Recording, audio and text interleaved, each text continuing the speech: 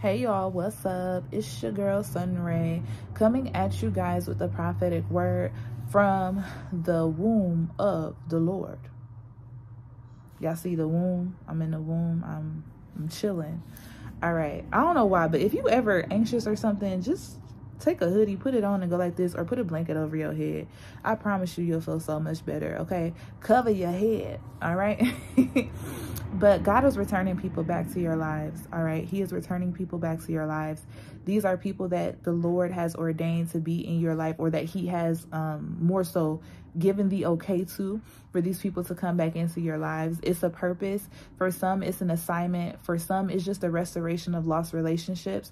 Whichever it is for you, just make sure that before you begin to spill your whole guts out, that you understand what the assignment is. You go to God and you seek his spirit and you say, you seek the Holy Spirit and you say, Holy Spirit, what is the assignment here? Why is this person coming back in? How am I supposed to navigate this? Okay. All your instructions, all of your leadings will be given through his spirit. But another thing God wanted me to also point out, because he had me release this word last Monday um during the event that me and my sister Sika did is that you are clean now okay? You are clean now. You are consecrated unto the Lord okay? And so that wilderness season that wilderness period of your life and the trials and things that he had you go through alone or maybe with some people and this is that and the third it was to strengthen you and it was to consecrate you unto the Lord, like how he did with the Israelites. He set them apart for himself. And um, how God kind of described this to me is like soap. Now, I, it made me think of this meme where it was like thoughts that you have when you're high. And it was like, when you drop the soap on the floor, is the soap now dirty and the floor is clean? And it was so funny because I used to look at that back then and I really be thinking like, yo, what? Mind equals blown, but soap is soap. No matter what soap encounters, the soap itself could never be dirty.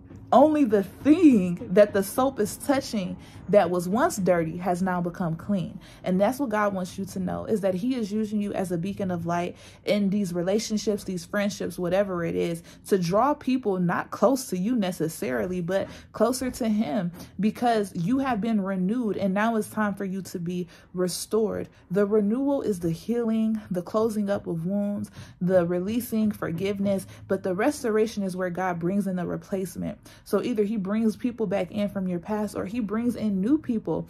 So um how do I say it?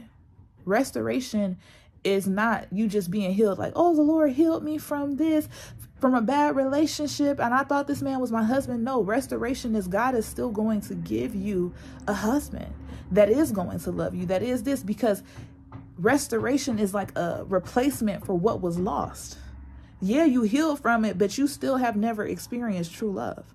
You still have never experienced having friends that actually love you and care for you and pour into you and don't just take from you. So God is restoring. In some in some cases though, restoration is a return of people. He had me speak about this with the word about the year 5783 that this is the year of the return. So not only are things that were supposed to be yours being returned back to you, but even people, okay?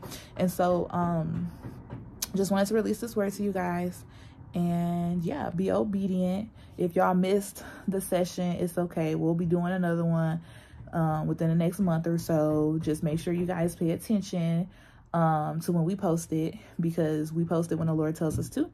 So I'm super excited for you guys to hear this word. Um, and I pray that it serves as confirmation for people. And I just want to give you guys one instruction that as God returns people back in your life, make sure you understand the assignment and that you aren't um, making um, the same mistakes that you probably did in the past where you just went ahead and did things and you didn't seek the understanding for the assignment because you're a different person now and you're closer to God. And so because you're closer to God, he will reveal to you exactly what it is that he needs you to do. Okay. Um, I love you guys so much and I'll talk to you guys in the next video.